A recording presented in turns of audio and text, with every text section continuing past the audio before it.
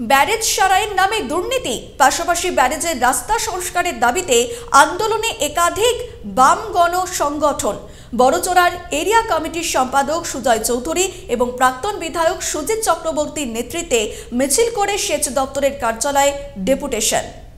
এখনও পর্যন্ত কাজ শুরু হয়নি কেন? টাকাটাকে মেরে নেওয়ার ঠান্ডা ছিল। আমরা ডিএম এর কাছে যাব, আমাদের প্রাক্তন বিধায়ক আন্দোলনের সম্মুখ সমরে বাম সংগঠনগুলি ব্যারেজ সারাইয়ের নামে দুর্নীতি চলছে। অভিযোগ তুলে ও ব্যারেজের রাস্তা সংস্কারের দাবিতে আন্দোলনে বাম নেতৃত্ব। বাঁকুড়া এবং পশ্চিম বর্ধমান জেলার যোগাযোগের অন্যতম মাধ্যম দুর্গাপুর ব্যারেজ। সেই ব্যারেজের রাস্তায় দীর্ঘদিন বেহাল। আমাদের মিছিলটা হচ্ছে মূলত দেখেছেন যে দুর্গাপুর ব্যারেজের রাস্তাটা দীর্ঘদিন বেহাল অবস্থায় পড়ে আছে। এই রাস্তাতে মানে প্রচুর গাড়ি যাতায়াত করে এবং মানুষের রুটি রোজগার মানে বাঁকুড়া টু দুর্গাপুরের মানুষের একটা মানে সংযোগস্থলের ব্যারেজ। এই রাস্তাটা দীর্ঘদিন বেহাল অবস্থায় পড়ে আছে বলে আমরা এটা আন্দোলন করতে বাধ্য হচ্ছি কারণ প্রত্যেকদিন দুর্ঘটনা হচ্ছে। এবার যদি দুর্ঘটনা কারও যদি প্রাণ চলে যায় যার প্রাণ যাবে তার বাড়ির লোকে চলে যাবে। সেটা কিন্তু প্রশাসনের তো যাবে না। প্রশাসন প্রশাসন কোনো দায়িত্ব নেবে না। তাই আমরা চাইছি যে রাস্তাটা যাতে এমনি শুধু এই ইটকুচিতে রিপেয়ারিং করে দিলে হবে না। এই রাস্তাটা মানে ভালো রকমভাবে রিপেয়ারিং করে করতে হবে যাতে মানুষের মানে যাতায়াত করতে সুবিধা হয়।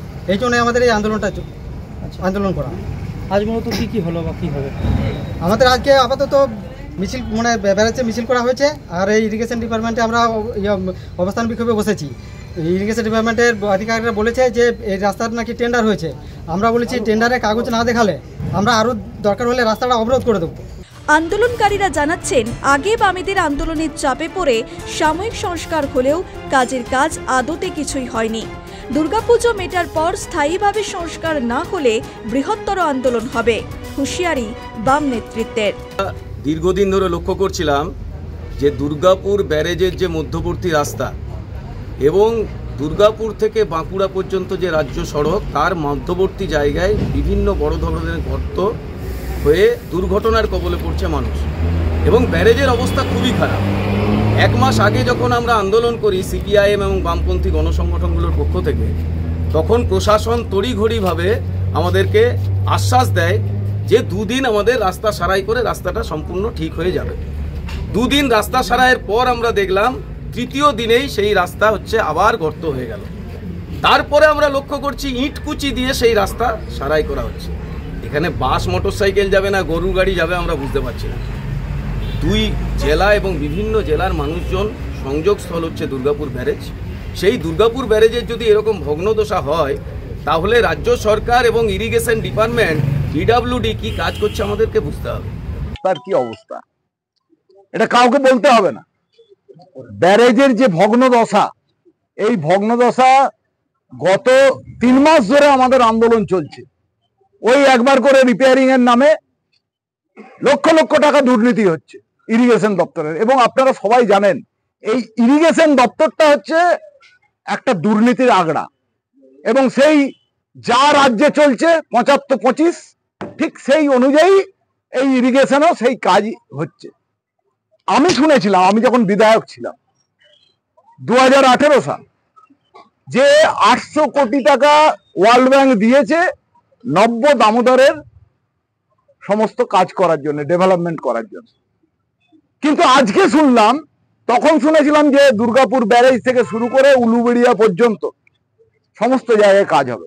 কিন্তু আজকে শুনছি যে ওয়ার্ল্ড ব্যাংকের একটা টাকাও হচ্ছে যে এখানে ব্যবহার হয়নি। শুধুমাত্র লক গার্ড লক গেটটা তৈরি করতে ব্যবহার করেছে। বাকি কোনো কাজ হয়নি ডেভেলপমেন্ট তাহলে এই আটশো কোটি টাকা গেল কোথায়? তবে বিধায়ক অলোক মুখার্জির গলায় অন্য সুর। সামনে দুর্গাপুজো এবং ছট পুজো। রাস্তা সারাই শুরু হলে পারবে ভোগান্তি। তাই সাধারণ মানুষের সমস্যার কথা মাথায় রেখেই শুরু হবে কাজ। সামনে দুর্গাপুজো ব্যস্ততম দিন আসছে। প্রত্যেকটা মানুষের বাড়ি বাড়ি পুজো। গাড়ি ঘোড়া বিরাট যাতায়াত করবে, মানুষ টানুষ যাবে। সেখানে যদি আমরা রাস্তা বন্ধ করে কাজ করি, মানুষ সেটা মেনে নেবে না। এবং ছট পুজো। যেটা ছট পুজোতে সূর্যদেবের আমরা পুজো করি, সেখানে বহু মানুষের ভিড় হয়। গোটা প্রশাসন তদারকি করেন, সুন্দরভাবে তদারকি করেন প্রশাসন। তাই আমরা যেটুকু জানতে পারছি বা বুঝতে পারছি যে পুজো পর্যন্ত ছোটোখাটো রিপেয়ার করে যদি পুজোগুলো পার করে দেওয়া হয়, পরবর্তীকালে সুন্দরভাবে রাস্তাগুলো এবং সকলের সহযোগিতা আমরা চাই। মাননীয় মুখ্যমন্ত্রী একটা কথা বলছেন, উন্নয়নের কাজ আমরা সবাই মিলে করি উন্নয়নটা যেন উন্নয়নের মতো হয়। একজন দুজন জানবে, বাকি কেউ জানবে না, এটা যেন কোনো মতেই না হয়। সেটা আমরা আমাদের ডিএম সাহেবকেও জানিয়েছি। বরজোড়া আইসি বরজোড়া বিডিও তাদের আমরা বলেছি। এই মুহূর্তে যদি আমরা রাস্তার কাজ শুরু করে দিই, টেন্ডার হয়ে গেছে অনেক আগেই, জলের জন্য এখন কাজ করতে পারছে না, এই মুহূর্তে আমি চাইব রাস্তার কাজ অবরোধ করে রাস্তা, অবরোধ করে রাস্তা হওয়া যায় না। যেমন আন্দোলনের চাপে পড়ে ব্যারেজের রাস্তা সারাই হবে, নাকি আগামী দিনে আন্দোলনের ঝাঁজ আরও বাড়বে? সবশেষে মানুষ কবে ভোগান্তি মুক্ত হবে, সেটাই এখন দেখার। বাঁকুড়া থেকে রাহুল কর্মকারের রিপোর্ট নিউজ বর্তমান।